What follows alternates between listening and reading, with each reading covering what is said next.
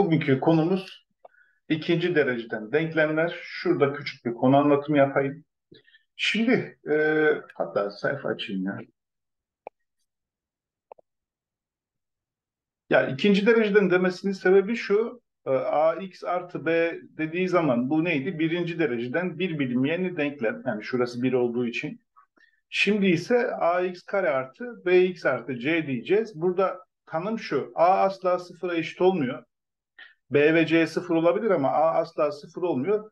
Şu ikiden kaynaklı biz buna ikinci dereceden denklem diyoruz. Dereceden denklem. Şimdi zaten çarpan atıyorum şöyle bir şeyde x kare artı 4x artı 3 gibi bir şeyi biz çarpanlara ayırmayı biliyoruz. İşte eşittir sıfır desek sıfır yapan kökleri biliyoruz. Fakat bazen böyle ayıramadığımız işte ne bileyim e, çarpanlara mesela ne x kare eksi x artı 1 mesela bu da çarpanlara ayrılabilen bir ifade. Bunun mantığının nereden geldiğini anlayacağız. Yani bunu çarpanlara ayırdığımızda işte diskriminant diye bir şey tanıyor, tanımlıyoruz. Diskriminant dediğim şey şu b kare eksi 4 ac. E, turnusol diye bir şey var. Turnusolu duydun mu hiç? Matematikle alakalı değil, kimya ile alakalı turnusol. Yok hocam. Şimdi turnusol bir şeyin asidik mi bazik mi olduğunu gösteriyor. Asidik e, mi bazik mi olduğunu gösteriyor. Tamam mı? Bir tane kağıt parçası suya değdiriyorsun işte o şüphelendiğin şeye. Kırmızı çıkarsa asidik, e, şey çıkarsa mavi çıkarsa bazik oluyor. Tamam mı? Şimdi hocam ne alakası var deme. İşte bizim turnusolumuz bu. Yani bu denklemin kökünün var mı yok mu olduğunu bize belirleyecek olan şey delta. Eğer delta sıfırdan büyükse x1 eşit değil, x2 gibi iki farklı kök. Bak buraya dikkat et. iki farklı kök. Delta eşittir sıfır ise birbirine eşit iki kök. Bak birbirine eşit iki kök. Bir birine eşit iki kök. Delta küçüktür sıfır ise reel kök yok. Şimdi reel kök yok demek kök yok anlamı gelmiyor. Sanal kök var ona da iyiliği ifadeler işte karmaşık sayılarda geleceğiz. Peki bu kökleri nasıl bulacakmışım? Peki da deltayı bulduk. Diyoruz ki kökleri şöyle buluyorsun. x1 eksi b artı kök delta bölü 2a. x2 dediğim şey de eksi b eksi kök delta bölü 2a. Eğer şimdi şeyden dolayı bak delta sıfır çıkarsa ne olur? Şunlar sıfır olur. Değil mi? Bak birbirine eşit iki kök buradan geliyor. Eğer delta sıfırdan büyükse kökün içerisi de dolayı iki farklı sayı geliyor gördüğün gibi. Delta sıfırdır küçük için biz kökün içerisinde demiştik daha önce eksi olamaz demiştik. Yani eksi yapan bir reel sayı yok. Karmaşık sayı var ama işte mantığı tamamen buradan yani şuradaki kökten kaynaklı geliyor. Buraya kadar sıkıntı var mı? Hocam e, delta sıfıra eşitse birbirine eşit oluyor diyorsunuz. Katsayıları mı eşit oluyor yoksa e, kökün Yok değeri mi kökleri eşit eşit? oluyor. Bak Ha, del- kökleri. delta yerine ha, delta yerine sıfır yaz bak ne olur bunlar gider. Bak aynı şey geliyor gördün mü? Eksi b bölü 2a eksi b bölü 2a. Yani kökleri eşit. Ya şey tam kare aslında. Mesela x kare artı 4x artı 4 nedir? x artı 2'nin karesidir. Bunu sıfır yapan bir tane sayı var. Eksi 2. İşte biz burada bir şey tam kare ise ya da delta sıfıra eşitse biz ne diyecekmişiz? Ee, çift katlı kök. Yani birbirine eşit iki kök ya da çift katlı kök. Çift katlı kök. Ya bir tane Anladım. kök var ama bu kök şey e, iki kök var birbirine eşit iki kök. Anladın mı? Anladım hocam. Peki burada başka neler kullanacağız? Mesela bu ikisini toplayabilirsin. Kökler toplamı formülü buradan gelir. Bak artı e, kök delta eksi kök delta birbirini getirir, götürür. Zaten paydaları eşit. Eksi 2b bölü 2a o da nedir? Eksi b bölü a. Bu formülü çok kullanacağız. Kökler toplamını. Kökler çarpımı e, yani iki kare farkı var. Bak gördüğün gibi ne olur? Şöyle farklı bir renk geçeyim. Bak, iki kare farkı var. B kare eksi delta bölü 4 a kare yapıyor. Delta'nın ne olduğunu biliyorum ben. Delta ne demekti? B kare eksi 4 AC demekti.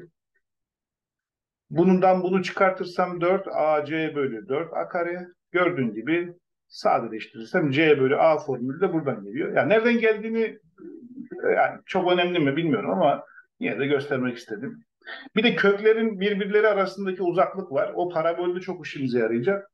x1 eksi x2'nin mutlak değeri. Hangisinin daha büyük olduğunu biz burada biliyoruz artı olduğunu ama köklerin birbirlerine olan uzaklıklarını şöyle buluyorsun. Bundan bunu çıkartırsan artık uzatmıyorum. Kök delta bölü a.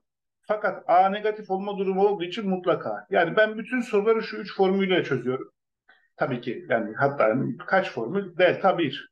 Şurası 2, 3, 4, 5, 5 formülle e, ben ikinci derece denklemlerden e, hiç sıkıntı çekmeden çözebiliyorum. Ve saçma sapan formüller varsa yine yapılabilir. Burada şeyler var işte hani mesela 2 üzeri x artı e, 3 tane 2 üzeri x artı 2 eşittir 0 diyecek. Şuraya karesi olsun ama şu.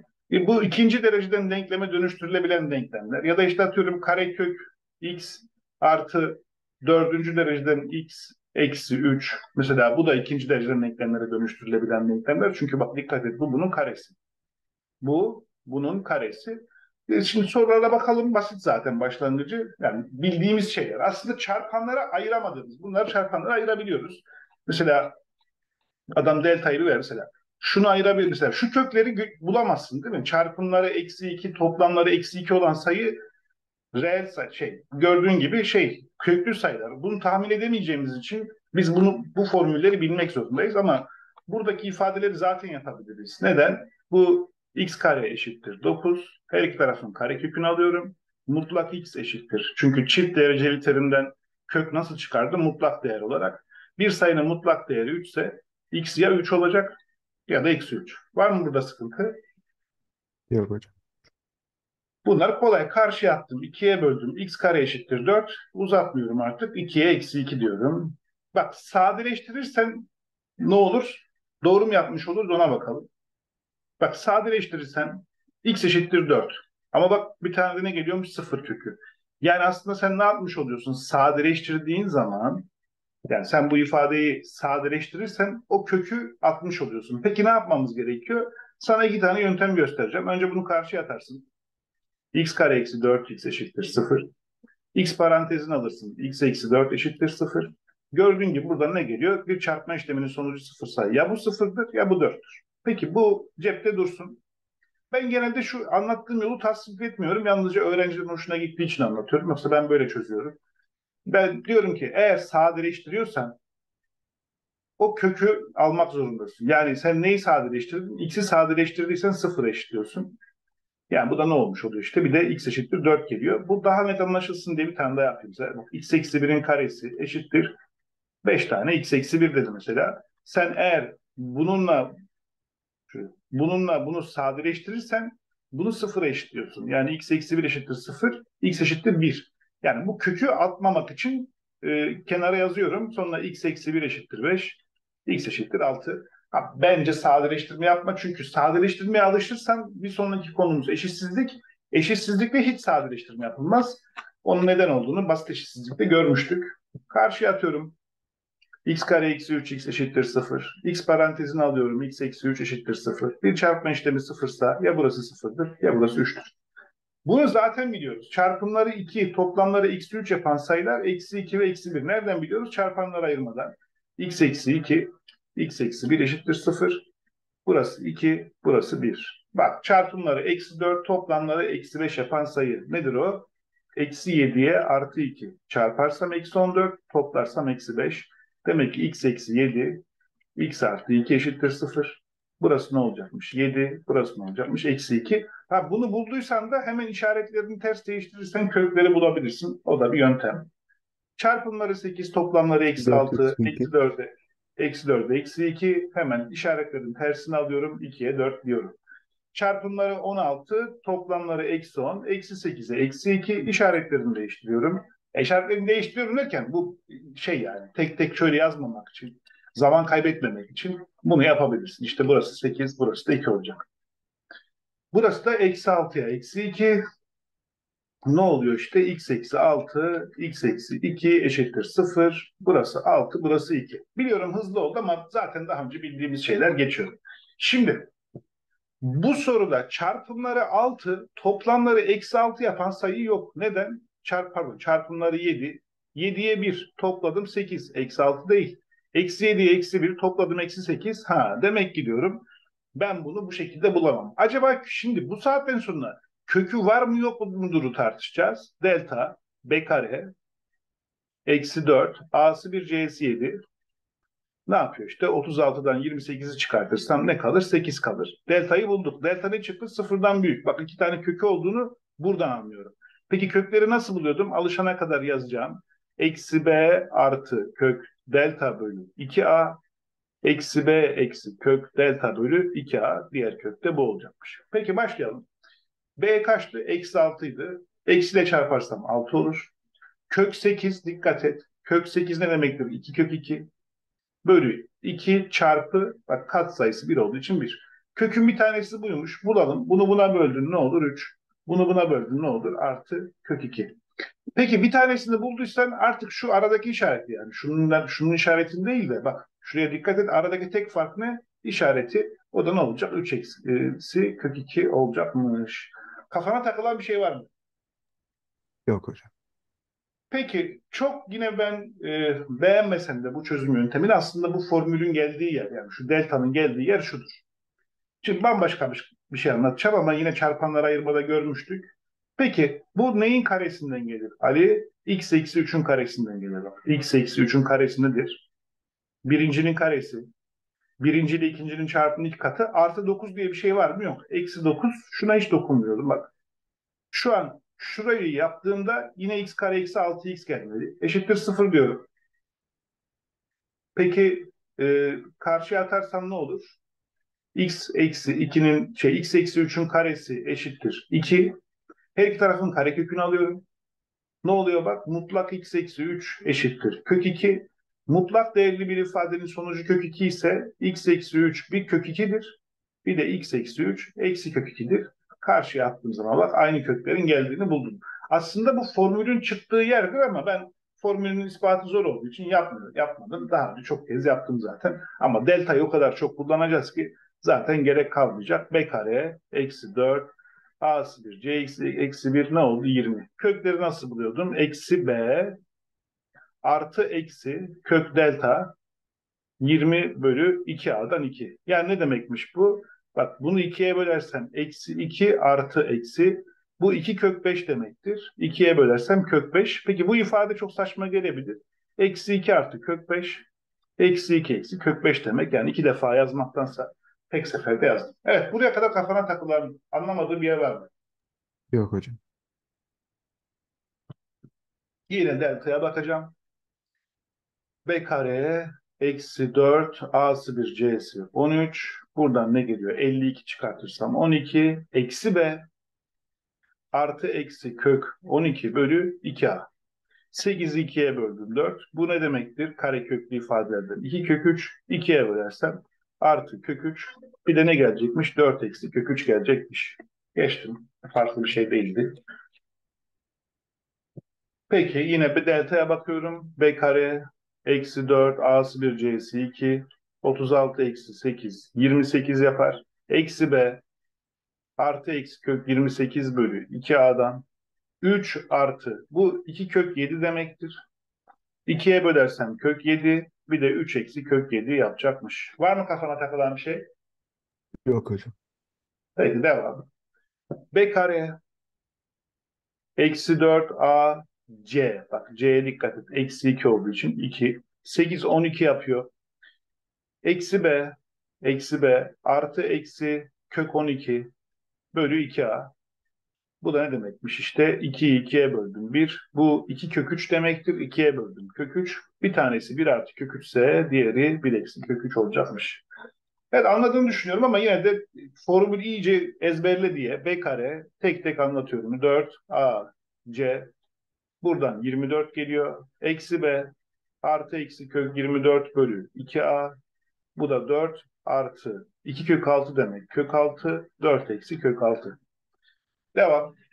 B kare eksi 4 A C ne geliyor? 13 eksi B artı eksi kök 13 bölü 2A. O da ne demekmiş bak dikkat et. 5 artı kök 13 5 eksi kök 13 bölü 2. Değil mi? Aynen öyle. Tamam. Şimdi birbirine eşit. Ya aslında şu gösterim doğru bir gösterim değil. Çünkü bu bir küme işaretidir. Tamam mı? Bak. Kümede ben şöyle bir şey yazabilir miyim? A, A. Ya yazarsın da doğru olmaz. Çünkü aslında bu A demektir. Bir kümede bir eleman bir kez yazılır. Hani liste yöntemiyle gösterme diyoruz buna. Ama biz yine de şunu bilelim. Kökler birbirine eşitse delta neydi? Sıfırdı. Başlıyorum. B kare. Eksi 4 AC kaç eşitmiş? Sıfıra eşittir sıfır. 64 eşittir. 64 çarpı A. Buradan A kaç gelir?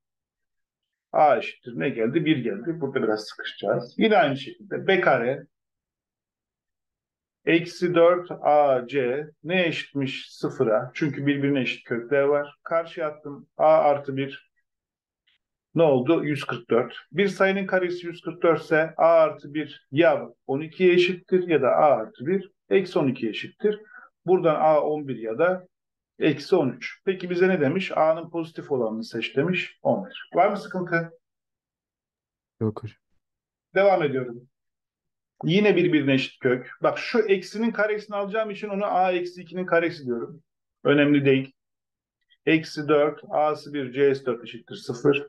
16 kar, kare kökünü aldım. Mutlak A eksi 2 eşittir 4 geldi. Bu ne demektir? A ya 6 olacak ya da eksi 2 olacak.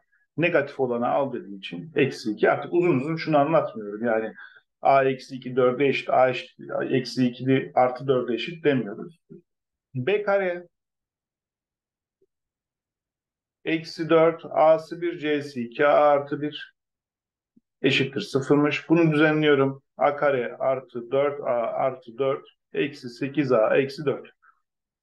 Bunlar gitti. Buradan ne geldi? A kare eksi 4A geldi. A kare eksi 4A sıfıra eşitse ben bunu A parantezine alırsam A eksi 4 eşittir 0. Bir çarpma işleminin sonucu sıfırsa A ya 0 olur ya da 4 olur. Dört. A'yı seç demiş, pozitif demiş. B kare eksi 4 A'sı 1 C'si A artı 6 eşittir 0. İşte karşıya böldüm 25 o ne olur 19 olur. Devam etmiyorum aynı şey. B kare eksi 4 A'sı 1 C'si A eksi 2 eşittir 0. Karşıya attım 4'e böldüm 9 eksi 2 karşıya attım 11. Buraya kadar kafana takılan bir şey yoksa devam ediyorum. Bence yoktur. Yok hocam. Bu ne demek? Bak çözüm kümesi yok. Çözüm kümesi yok ne demekti? Reel kök yok. Kök dediğimiz şey ne? Bu denklemi sıfırlayan. Yani bu denklemin sıfırı. Eğer bu denklemin sıfırı yok ise eğer ne yapacağız? Deltası ne olacaktı? Sıfırdan küçük. Başlıyorum. küçük. 64 a kare eksi 4 a c küçüktür 0. Karşıya attım. 64 a kare küçüktür 64. Her taraf 64'e böldüm. A kare küçüktür 1 geldi. Bir sayının karesi birden küçükse ister şöyle yap. Bak hani kafan karışmasın diye şöyle yapıyorum. Her tarafın yine kare kökünü alıyorum. Mutlak A küçüktür 1. Biz bunu mutlak değerde gördük. Bu ne demekti? Eksi 1 küçüktür A küçüktür 1 demekti diyebilirsin. Ya da bir sayının karesi birden küçükse eksi 1 ile 1 arasında diyebilirsin. B kare eksi 4 A C kökü olmadığından sıfırdan küçük karşıya atıp 4'e böldüm. Aynen burada olduğu şey çıktı. Bu tabi böyle değil şöyle de gösterilebilir. 3 ile artı sonsuz diye de gösterebilirsin. Devam ediyorum. Yine kökü yok. B kare. Eksi 4 AC küçüktür 0. Karşıya atıyorum 36. A artı 1'in karesi küçüktür 36. Buraya 6 ile eksi 6 diyorum. Az önce mutlak değerden dolayı onu açıklamıştım. Eksi 6 A artı 1 6. Her taraftan 1 çıkartırsam bak ne olur? Eksi 6'dan 1 çıkartırsam eksi 7. Ee, şey 6'dan 1 çıkartırsam ne olur? 5 olacakmış. Denkleminin iki farklı kökü var ne demekti? Denklemin iki, kat, iki farklı kökü var. Deltası sıfırdan eşit. büyük. Yani tabii ki Büyük.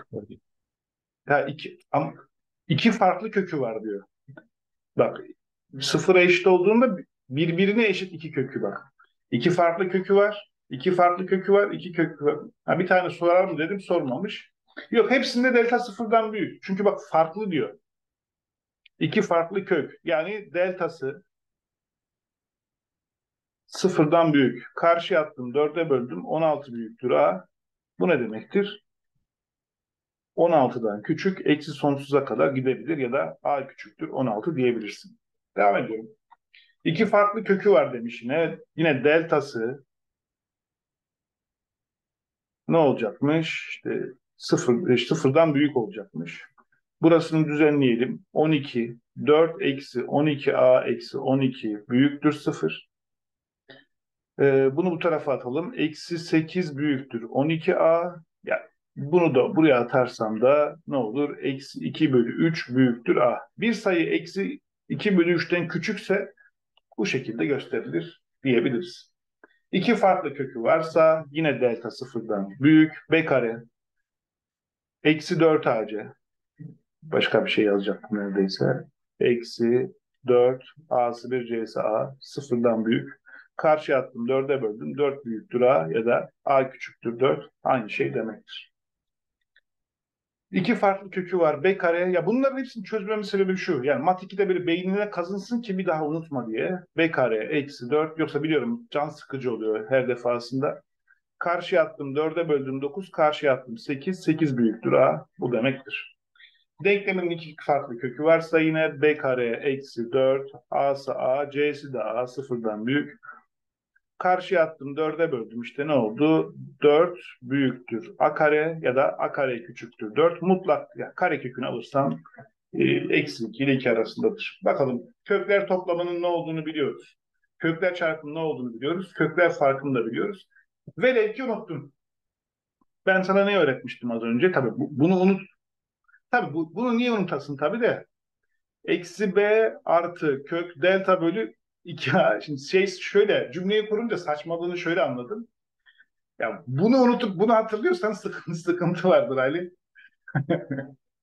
yani ki unuttun. Hakikaten bunu unuttun. Ama bunu bunu da hatırlıyorsun. Delta bölü 2A. İşte toplarsan, çarparsan bu formüller gelir. E, birbirinden farkı da bu şeyden formülden gelir. Evet bunlar kolay ama yine her defasında olduğu gibi e, kökler toplamı eksi b bölü a diyeceğim. Dikkat et eksi b 4 yapar a'sı 1. Bitti bu kadar. Kökler çarpımı c bölü a eksi 36. Kökler toplamı eksi b bölü a eksi m artı 1 bölü a'sı neymiş? 8.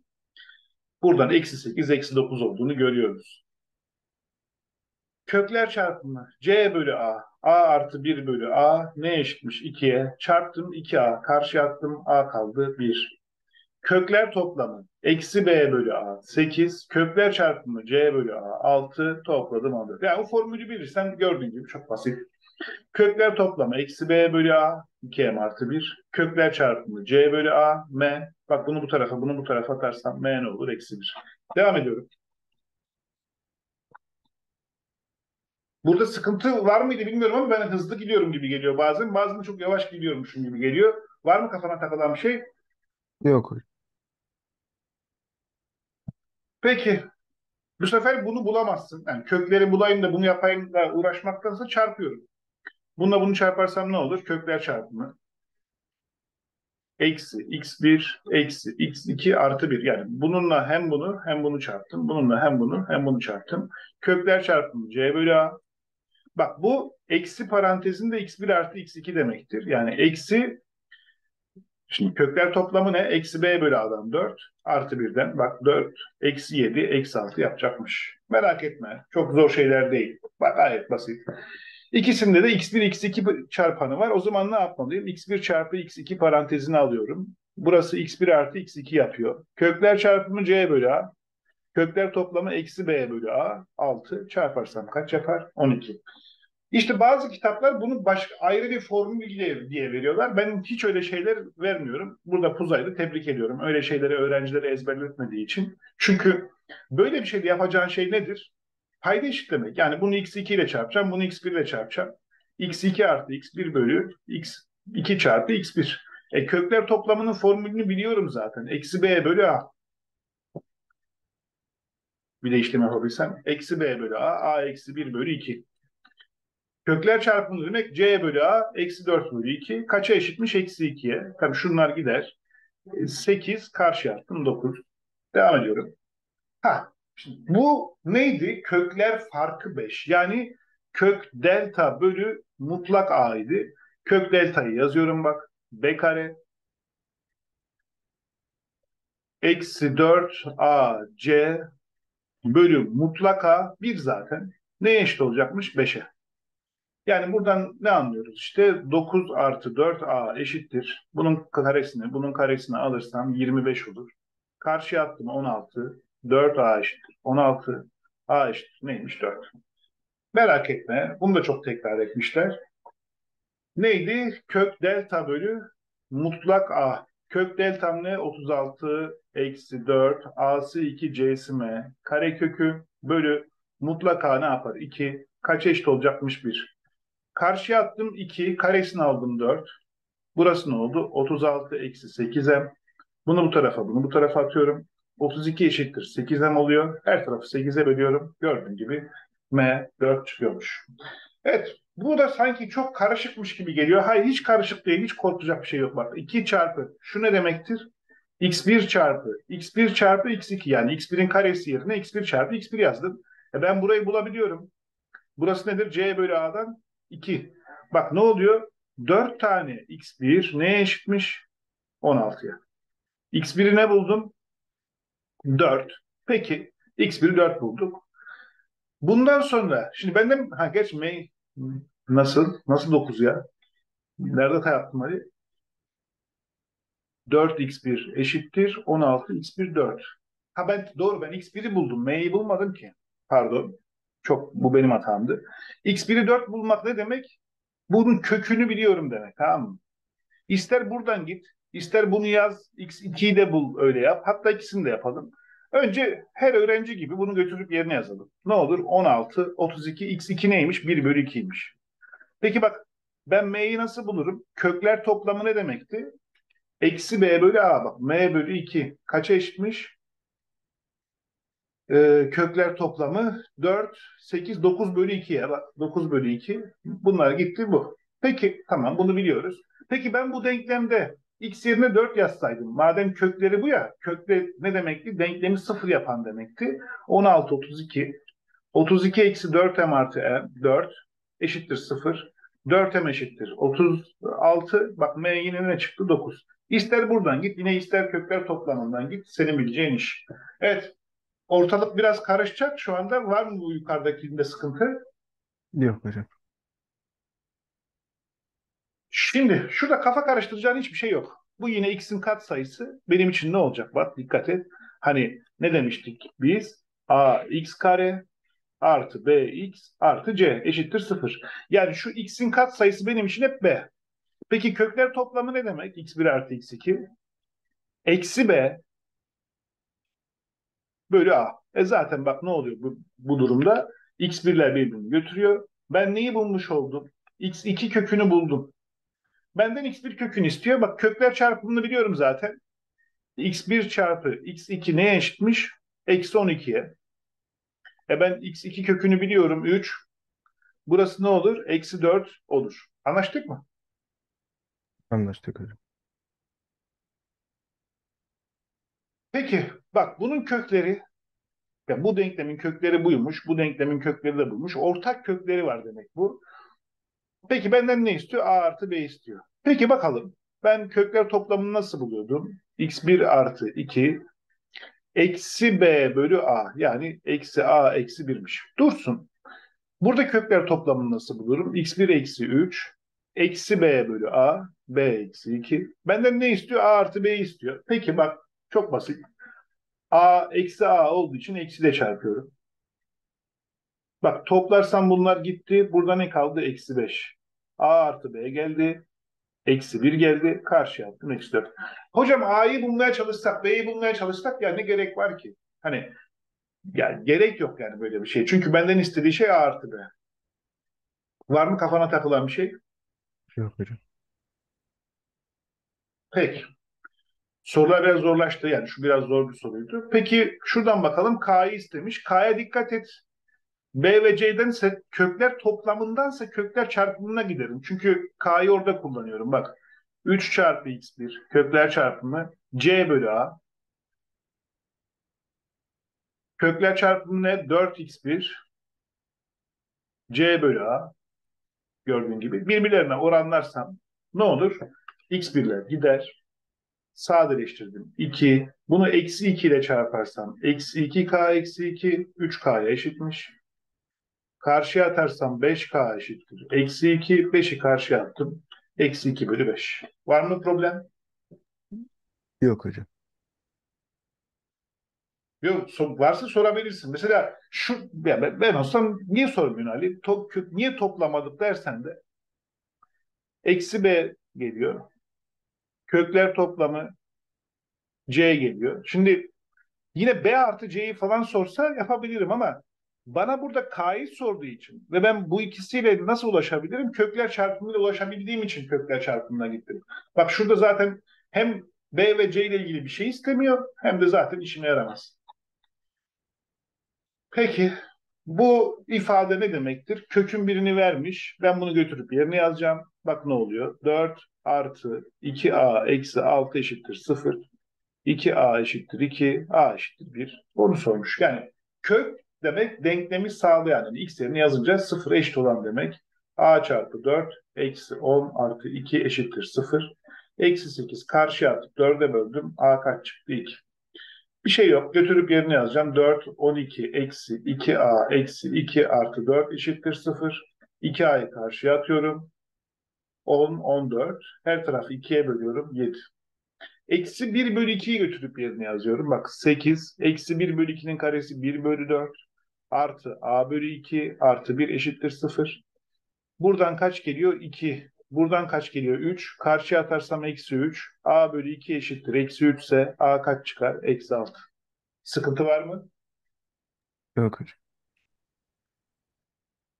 Ne yapacağım? Yine 1'i yazacağım, a'yı bulacağım. 1 yazarsam 3 eksi 7 artı a eşittir 0. a buradan kaç geliyor? 4. Eksi 4'ü yazacağım. Bak burada dikkat et. Diğer kökü istiyor. Aslında bence hiçbir şey... Hatta bunu biraz konuşalım mı? Bak. Az önce yaptığım gibi yapayım. Bunu götürüp yerine yazdım. 16, 32. Eksi 4a. Eksi 4 eşittir 0. İşte buradan 4a eşittir 28. a eşittir 7. Şimdi bizden a'yı istememiş ama a'yı 7 bulduk. Bak kökler toplamı ne geliyor? Kökler toplamı bu ikisinin toplamı ne yapar? Eksi 4 artı x2. Eksi b bölü a'dan eksi 7 bölü 2. Bunu karşıya atarsam artı 4 olur. Bak 8, 1 bölü 2 tamam. Ama hiçbir şey yapmana gerek yoktu biliyor musun? Bu kadar. Bunu götürüp yerine yazmana bile gerek yoktu. Kökler çarpımı ne demek? Eksi 4 çarpı x2 ne eşitmiş? c bölü a yani eksi 2'ye. Bak karşıya atarsam eksi 4'ü ne olur? Direkt 1 bölü 2'yi bulabilirim. Ha diyeceksin ki ben bunu hemen ne zaman göreceğim? İşte soru çöze çöze göreceksin. Yani yapacak bir şey yok. Sıkıntı var mı? Yok hocam. Peki ben yine kısa yoldan geçip bırakacağım. Çarparsam eksi 3x2 kökler çarpımı c bölü a demektir. Bak, x2'yi direkt ne yapabiliyorum? Bulabiliyorum. Diğer yolları gösterdim. Peki devam edelim. Şimdi burada bir not. Şimdi ilk defa buraya kadar şey verdik. Kökü bulduktan sonra yerine yazmak zorundasın. Yani x'i buldun ya. Mesela sen şimdi şöyle e, eksi 2 2'ye eşit midir Ali? Değildir değil mi? Değildir abi. Karesini al bunun. Bak yani bir şeyin karesini alıp eşitledin diye o bulacağın x'ler eşit olmak zorunda değil gördüğün gibi. Evet. Anladın mı buradaki mantığı? Doğru. Yani eksi 2 2'ye eşit değil ya. Kareleri eşit olan sayılar eşit olmak zorunda değil. Yani aslında işin e, kelime olarak karşılığı bu. Biz de burada kökü yok etmek için karesini alacağız ya. Değil mi? Bak kökü yok etmek için karesini alacağım. 2x eksi 1. Bunun da karesini aldım x. Bak x kare. Az önce yaptığım hataya düşmemek için bulduğum x değerini götürüp kökte yerine yazmak zorundayım. Yoksa hata yaparım. Hepsini karşıya atıyorum. x kare eksi x artı 1. Bu x eksi 1'in karesi demektir. Ee, x yerine 1 yazdım. x yerine 1 yazacağım. x yerine 1 yazarsam kök 1 1'e eşittir. Sıkıntı yok. Bak mutlaka gelecektir ama. Her iki tarafın karesini aldım. 4x artı 5 eşittir x kare. Hepsini karşıya attım. x kare eksi 4x eksi 5 eşittir 0. Uzatmıyorum. x eşittir 5 ya da x eşittir eksi 1. Şimdi eksi 1'in neden yazdığım zaman olmuyor bak. Eksi 1 yazarsam ne oluyor? Kök 1. Eksi 1 yazarsam ne oluyor? Eksi 1. Bak sağlamadı gördün mü? O yüzden bunu almayacaksın. 5'i de yazıyorum 25. Neye eşit 5'e? Evet bunda bir sıkıntı yok. Ama bak bunun karesini bunun karesini alıyorsan eşitlenmiş oluyor. Yani karesini aldığın eşitlendi diye o bulacağın x'ler sağlamak zorunda değil. Buradaki temel mantık bu. Karesini aldım. Hepsini karşıya attım. Bu x eşittir 4 ve x eşittir 2 demektir. 4'ü yerine yazdım. 4. 24 ne yap? 8 çıkarttım 16. Eşit midir? Evet. 2 yazdım. 12, 4 eşit midir? Evet. Gördüğün gibi ikisi de eşittir. Devam ediyorum. Her iki tarafın karesini aldım. a kare eksi 2a artı 1. Hepsini bu tarafa atıyorum. a kare eksi 4a eksi 5. Bu ne demek? Eksi 5'e artı 1 demek yani a dediğim şey ya 5 olacakmış ya da eksi 1. a yerine eksi 1 yazalım bak. Eksi 1 yazarsan ne oluyor? Kök 4. Eksi 1 yazarsan ne olur? Eksi 2. Bu buna eşit midir? Hayır. 5 sağlıyormuş. Var mı sıkıntı? Yok hocam. Peki. Burada ne yapacağım? Burada tek kök yazarak bu işin içerisinde yani bir kez karesini alarak işin içinden ne yapamıyorum? Kalkamıyorum. Neden? Çünkü bak birincinin karesi. ikincinin karesi. Birinci ile ikincinin çarpımının iki katı. Neye eşit? 9'a. Yani bak kökten kurtulabildim mi? Kurtulamadım. Evet. Devam ediyorum ben düzenlemeye. Bunu hep bunu bu tarafa bunu bu tarafa atalım. Ne oldu? 3x eksi ne oldu? 8 şey, artı 8 eşittir. iki tane kök içerisinde 2x kare artı 17x. Şimdi bir kez daha karesini alacağım. Ama zamanımız yetmeyebilir. Kesilebilir. Ona göre dikkat et. Karesini alırsam ne olur? 9x kare artı 48x artı 64. Bu tarafın karesi. Bunun karesi 4. 4 ile çarpacağım şu içeriği. Ne yapar? 8x kare artı 68x. Bunlar birbirine eşit olduğuna göre karşıya atarsam ne olur? x kare eksi 20x artı 64 eşittir 0. Bu x eşittir 16 ya da x eşittir 4 demektir. Bak 16 ve 4 ikisi birden sağlıyormuş. Ben götürüp yazmıyorum zamanımız kalmadığı için. Evet. Şimdi diğer ders tam en güzel yerinde kesildi. Diyordum ki hani götürüp yazmaya gerek yok. Zaten biz bunları bulduk. Peki yukarıdaki sorular gibi öyle karesini alınca direkt kurtulamıyoruz. Karesini aldım şunlardan kurtuldum ama birinci ile ikincinin çarpımının iki katından. Yani şu kökü kurtarmak için bir kez daha karesini alıyorum. Ama sakın unutma bulduğun her x değerini götürüp yerine yazmak zorundasın. Onu da söyleyeyim. Peki burada aynı tarz bir soru. Karesini aldım. Bak şu dikkat et şu dışarıdaki kök gitti. Kök içerisinde x artı 3 4 oldu. Şimdi bunları karşıya atıp bir kez daha karesini alacağım. x artı 3 3 eksi x. Şimdi bir kez daha karesini alıyorum. Karesini alınca bu kaybolacak. x artı 3. 9 artı x kare eksi 6x. Hepsini karşıya atalım. X kare eksi 7x artı 6 eşittir 0. Buradan işte eksi 1, eksi 6. x ya 1 olacakmış ya 6. Peki ne demiştik? Götür yerine yaz. Yazıyorum 1 yazıyorum. 1 yazarsam ne olur? 4. 4 dışarıya nasıl çıkar? 2 diye. Bak şurası 2 çıktı. Bir 1 var. Burası da 1. Tekrar kök tamam. Yani 1 sağladı. 6 niye sağlamıyor? Hadi ona bakalım. 6 yazdım 9. Şimdi 6 yazarsam 9. 9 nasıl çıkacak dışarıya? 3 diye. 1 artı 3 artı 9. Bak 9, 10, 13. Kök 13 2'ye eşit mi? Hayır. O yüzden bu kökü almıyoruz. Kafanda yani kafada karıştıracak bir şey var mı burada? Yok hocam. Attım karşıya. x eksi 2 2 kök içerisinde x artı 1. Yine karesini aldım. Birincinin karesi. Birinci ile ikincinin çarpımının iki katı. İkincinin karesi. Karesini alıyorum bak bunu unutma. 4 çarpı x artı 1. Şimdi bu 4x yapar. Karşıya atarsam 8x yapacak. Eksi 8x artı 4 ile gidecek. Yani x parantezinde x eksi 8 eşittir 0. x ya 0 olacakmış ya 8. Bak 0 verince ne oluyor? Eksi 1 eşittir. 2 artı 1. Şimdi bu buna eşit mi? Değil. O yüzden ne yapamıyoruz? 0'ı alamıyoruz. 8 yazıyorum. 8'den 1 çıktı 7. 8 yazarsam 9 olur. 9 dışarıya 3 diye çıkar. 3 kere 2 6. 1 de çıktı 7. Ha, bu da sağlamasaydı boş küme. Yani her zaman denklemin e, çözüm kümesi olacak. Ha, böyle bir şey de varmış. Efendim? Böyle bir şey de varmış. Boş küme de var. yazabiliriz yani. Gelebilir böyle bir şey. E, var var hani illa ki sağlamak zorunda değil yani. Sen denklemi çözdün ama. Şimdi e, şöyle bakalım. x kare x üzeri 4. Bak biz bunu buna benzetebiliyoruz. Ne diyeceğim? x kare gördüğüm yere a yazacağım. Yazıyorum. Bu ne oluyor? a karenin yani a kare olmuş oluyor. Yani şöyle yapalım. Her iki tarafın karesini alırsam x üzeri 4 a kare olur. Bak ne oldu? a kare eksi 13a artı 36 eşittir 0. Bak soru artık ikinci dereceden denklem haline geldi. Çarpımları 36, toplamları 13 yapan sayıyı biliyoruz. Eksi 4'e eksi 9.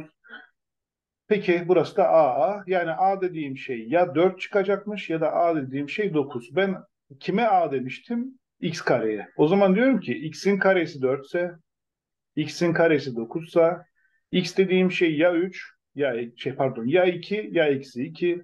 X dediğim şey ya 3 ya eksi 3. Şu işaret toplama işareti demek. Zaten toplarsam 0, toplarsam 0. Var mı sıkıntı? Yok hocam. Peki yine aynı şekilde a kare gör, x kare gördüğüm yere a yazacağım.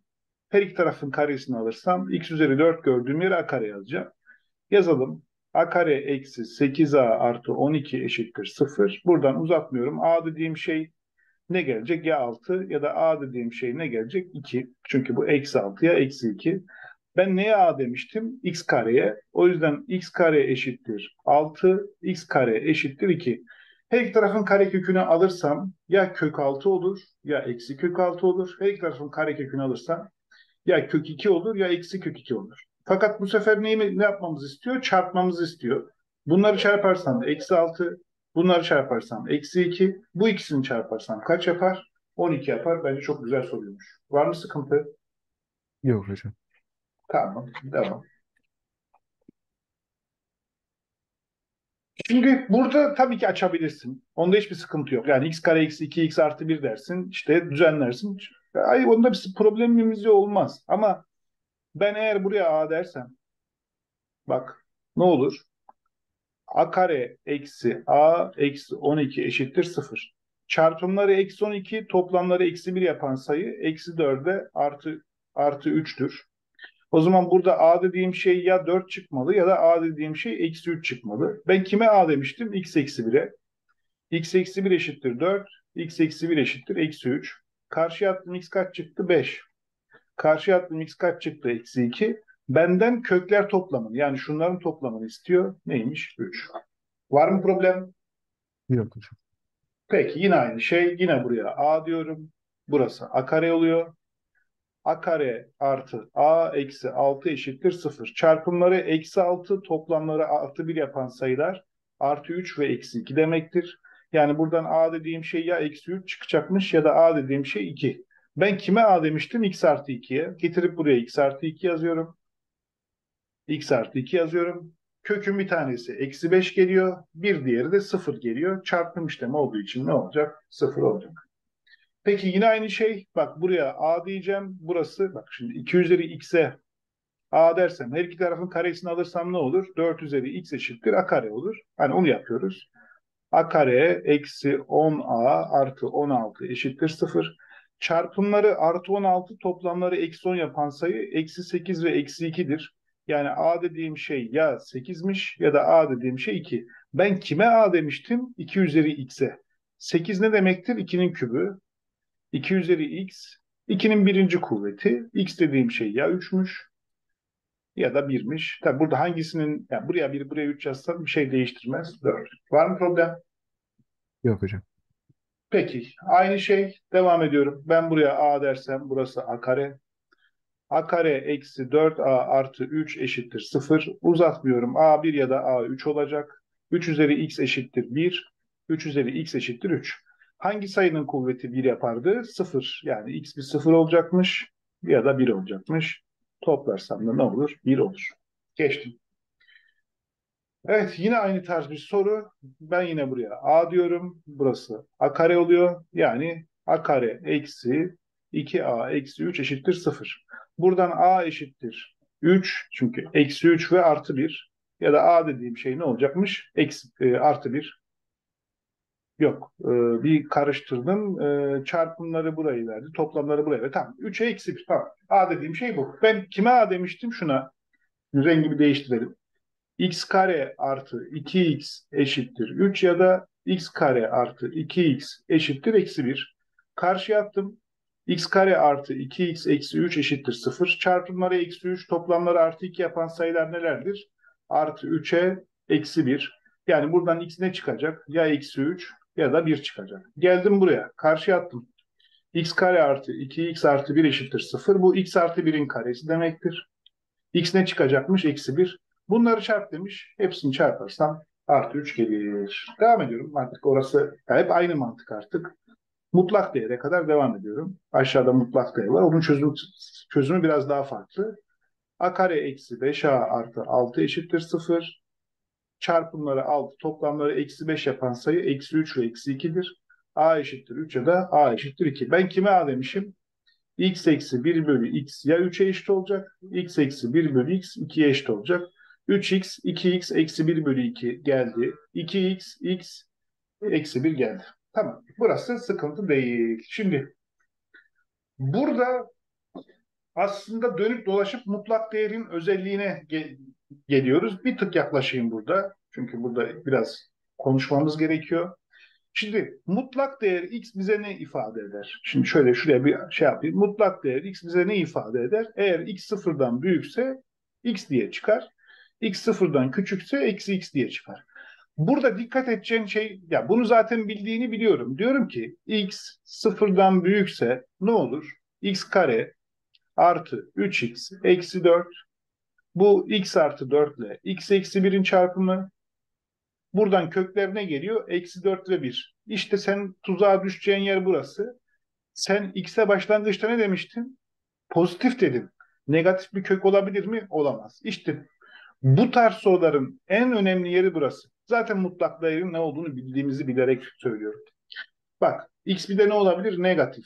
Eğer x negatifse eksi alıp çıkacak. x kare eksi 4x eksi 4. Pardon şurası 3 olacaktı. Eşittir 0 çarpımları eksi 4 toplamları eksi 3 yapan sayılar x eksi 4 ve x artı 1. X dediğim şey ya 4 ya eksi 1 olacak. Sen sıfırdan küçük dediğin için artık bu kökü alamazsın. Eksi 1 alırsın. Bize bu kökleri topla demiş. Toplarsam kaç yapar? 0. Kafana takılan bir şey var mı? Yok hocam anladım. Peki aynı şeyi yapacağım şimdi.